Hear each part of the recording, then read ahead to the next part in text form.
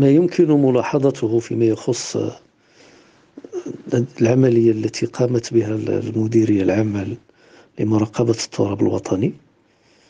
هي عملية حقيقة نوعية بحكم أن الخطر الإرهابي في المغرب يعني لا زال حاضرا بقوة هو أن السياسة الاستباقية التي اعتمدتها هذه الإدارة يعني بشكل واضح ووفق استراتيجية يعني مبنية على أسس قوية يعني آه، تعطي أكلها بشكل ملحوظ. والأمر يعني في فيما يخص يعني المشتبه فيهما هناك ملاحظة ملاحظتين. الملاحظة الأولى هو سنهم حيث أنهم في يعني آه، لم يتجاوزوا 23 سنة. وهذا أمر يعني خطير جدا بحكم أن أن أن هذا السن يسمح لهم يعني بسرعة التنفيذ بسرعة التنفيذ والارتماء بسهولة في فكر الفكر المتطرف. لكن انتماء إلى إلى العالم القروي بحيث أن مثلا دوار سيدي كرو يعني التابع للجامعة القروية ولاد حسون الحمري. يعني حسب يعني لا يعني تعداد سكاني لا يتجاوز لا يتجاوز 1000 إلى 1400 نسمة. وهذا أمر يعني يعني ملفت للنظر بحكم أن فيما سبق يعني في أغلبية الخلايا الأولى التي قامت المديرية العامة لمراقبة التراب الوطني آه، بتفكيكها طيلة آه، السنوات الماضية. آه، كانت يعني بشكل كبير. في المدن الكبيرة مثل الدار البيضاء وسلا وفاس وبعض مدن الشمال إلى غير ذلك. بالنسبة لمسألة صناعة المتفجرات وحيازتهم لأقنعة آه، لا ننسى بأن أن أن الموالين لداعش على مستوى يعني العالم آه، سواء في أوروبا أو في إفريقيا. وغير ذلك الأساس في هذا الفكر هو التنفيذ.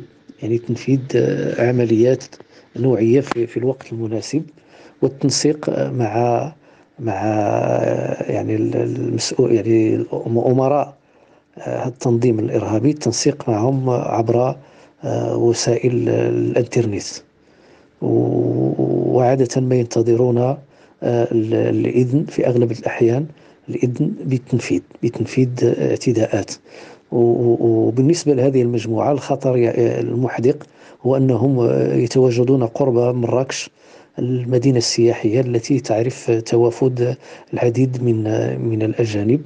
على المستوى العالمي وتعرف كذلك تنظيم مؤتمرات آه، دولية وإقليمية آه، آه، كبيرة جدا.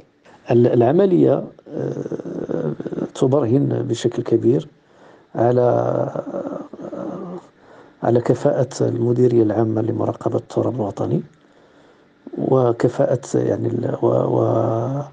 ودرجة التنسيق الكبيرة ما بين هذه المديرية العامة وما بين باقي الأجهزة الأمنية في المغرب. وهذا الأمر يدخل في سلسلة وفي مسار آه، مهم جدا الذي يعني تفتخر به البلاد وتعتز به و يعني محل وهو محل إشادة ليس على المستوى الوطني والشعبي فقط وليس أيضا على مستوى المتتبعين والمهتمين بالشأن الأمني.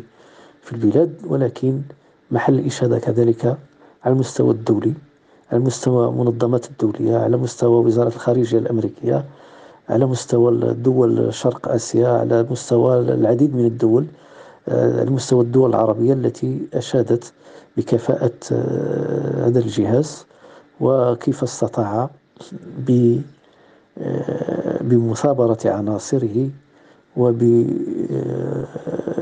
وبرزانة قيادته في أن يجنب آه، العديد من الشعوب والعديد من المؤسسات آه، سواء على المستوى الوطني أو على المستوى الدولي جنبها العديد من الخسائر في الأرواح وفي الممتلكات. بالنسبة لإشادة الموقفين الموقوفين آه، بعملية اغتيال أجنبية بمنطقة سوس آه، إصابة واحدة في تيزنت واحدة أكادير هذا يعني أي عمل يستهدف الأجانب بالنسبة لحاملي الفكر المتطرف سواء كانت داعش أو القاعدة. آه، وحتى يعني الجهات التي تعادي المغرب فهو عمل آه، طبعا يؤثر على السكينة وعلى استقرار البلاد.